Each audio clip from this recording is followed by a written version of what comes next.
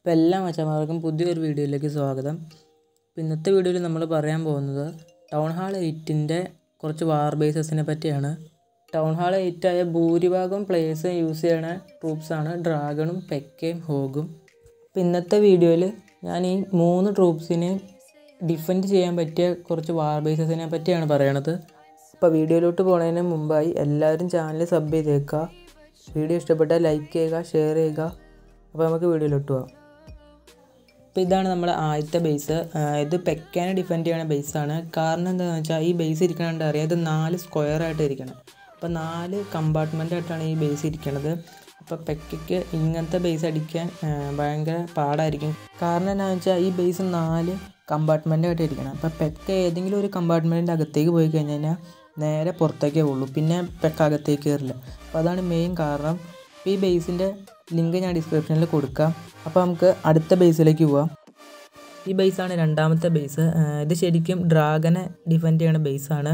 കാരണം എന്താണെന്ന് വെച്ചാൽ ഇതിന്റെ മൂന്ന് എയർ ഡിഫൻസും ഇരിക്കുന്നത് ഒരൊറ്റ ലൈനിലാണ്. അപ്പോൾ ഡ്രാഗന് ഇതിന്റെ അകത്തേക്ക് വന്ന് ഈ എയർ ഡിഫൻസ് പൊട്ടിക്കാൻ കുറച്ച് ടഫായിരിക്കും. ഇപ്പോൾ ലെഫ്റ്റ് സൈഡിൽ നിന്നാണ് അറ്റാക്ക് സ്റ്റാർട്ട് ചെയ്യണമെങ്കിൽ ഈ സൈഡിൽ ടൗൺ ഹാളിൽ കുറച്ച് സ്റ്റോറേജ് ഒക്കെ ഇരിക്കുന്നുണ്ട് അപ്പോൾ അത് പൊട്ടിച്ച് അകത്തേക്ക് വരിക എന്ന് പറഞ്ഞാൽ കുറച്ച് പാടുള്ള കാര്യമാണ്. പിന്നെ റൈറ്റ് സൈഡിൽ നിന്ന് വന്നെങ്കിൽ റൈറ്റ് സൈഡിലും ഉണ്ട് ഇതുപോലെ സ്റ്റോറേജും ക്ലാൻ ഗ്യാസ്റ്റിലൊക്കെ അപ്പോൾ കുറച്ച് പാടാണ് ഡ്രാഗന് അകത്തേക്ക് കയറി വരാൻ. ഈ ബേസിന്റെ ലിങ്ക് ഞാൻ താഴെ കൊടുക്കാം. അപ്പോൾ നമുക്ക് അടുത്ത ബേസിലേക്ക് പോവാം. ഈ ബേസാണ് നമ്മുടെ മൂന്നാമത്തെ ബേസ് ഈ ബേസ് ശരിക്കും ഹോഗിനെ ഡിഫെൻഡ് ചെയ്യണ ബേസാണ് കാരണം എന്താണെന്ന് വെച്ച് കഴിഞ്ഞാൽ ഇതിന്റെ ഡിഫെൻസ് എല്ലാം അടുത്തടുത്തായിരിക്കണം. അപ്പോൾ ഹോഗ് സ്പ്ലിറ്റായി പോകാനുള്ള ചാൻസ് കൂടുതലാണ്. ഹോഗ് സ്പ്ലിറ്റായി പോയി കഴിഞ്ഞാൽ എന്തായാലും അറ്റാക്ക് ഫ്ലോപ്പ് ആവും.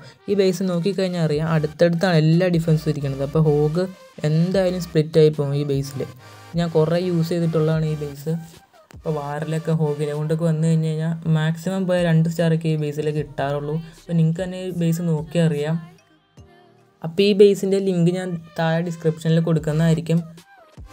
നിങ്ങൾക്ക് വാറിന് ഏറ്റവും കൂടുതൽ പെക്കയും കൊണ്ട് അറ്റാക്ക് വന്നെങ്കിൽ നിങ്ങൾ ആദ്യത്തെ ബേസ് യൂസ് ചെയ്യുക.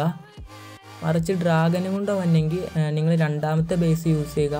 ഫോഗിനെ കൊണ്ട് വന്നെങ്കിൽ നിങ്ങൾ മൂന്നാമത്തെ ബേസ് യൂസ് ചെയ്യുക. പുതിയൊരു വീഡിയോ ആയിട്ട് വീണ്ടും വരുന്നതായിരിക്കും അച്ഛന്മാരെ അപ്പോൾ ബൈ